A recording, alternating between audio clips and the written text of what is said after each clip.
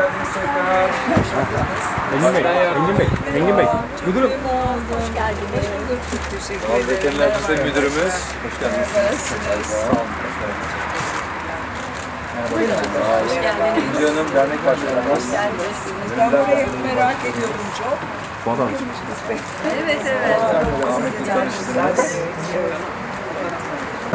Bazıları aslında değildir. Ne yapalım?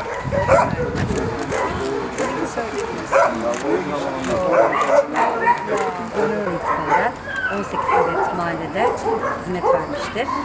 Toplamda 592 ücretsiz uygulaması, 494 iç dış parazit uygulaması ve aynı zamanda da 672 adet e, normal sağlık kontrolü, genel sağlık kontrolü yapılmıştır. Yani sizin faaliyetlerinizi gördükçe çok gurur duyuyorum, çok iftihar ediyorum. Ee, sokaktakileri de korumak lazım. Yani görmemezlikten gelmek çok büyük vicdansızlık. Ben insanoğluna yakıştıramıyorum. Çocukları da mesela eğitim vermek lazım. Çünkü çocuklar da onları oyuncak gözüyle görüyorlar. Halbuki öyle değil. Ee, onların da bir canı var. Onlar sevgi istiyorlar. Aç oldukları zaman kimseyi ısırdıklarını görüyor musunuz? Hayır. Yani bu e, diğer hayvanlar için de geçerli. Yani e, onlar çok gururlular ya. Yani ne bileyim biz ya- onlara yardım etmezsek hiçbir şey yapamıyorlar. Onları kısırlaştıralım. Bak eğer sahiplenilmiyorsa. E, evet ya ama e, caddelere salmayalım. Onlar korumasız çünkü. Bakar mısınız onlar melek. Burada bizim aslında bu barınağı çok daha iyi şartlarda da e, tekrar inşa edeceğiz. öyle Hep mi? beraber Hep tabii ki. Hep beraber Süper inşa olur, edeceğiz. süper Sizin olur. rehberliğinizde burada bütün hayvanseverleri veya bu konuda katkı koymak isteyenleri bir araya toplayarak hem burası hem de bizim Turgut Reis'te de yine bir rehabilitasyon merkezimiz var.